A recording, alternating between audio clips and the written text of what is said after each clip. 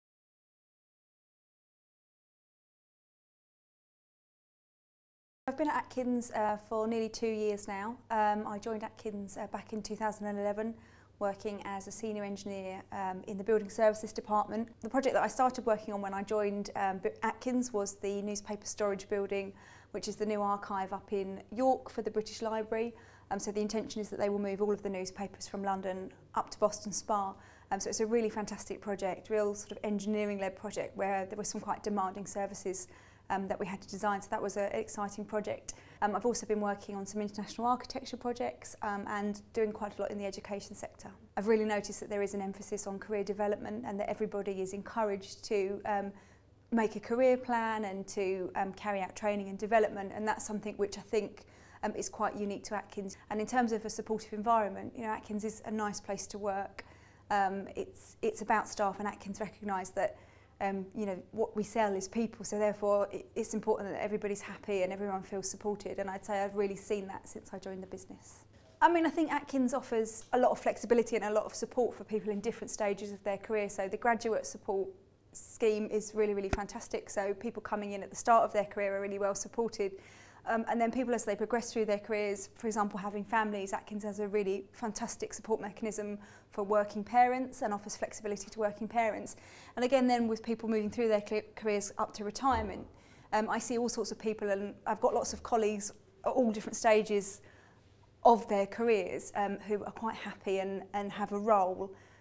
um, within Atkins and are supported within that role. So I can see why people are here for the, for the long term. I can see why there's people here who've been here for 30 years.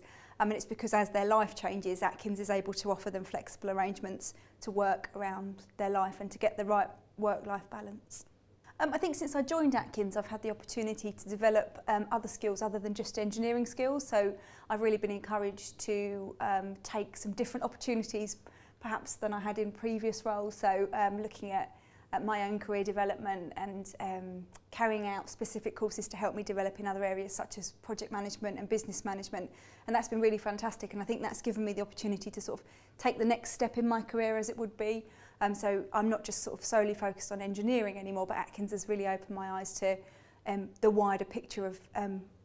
of work and consultancy um, and working in a large company like Atkins.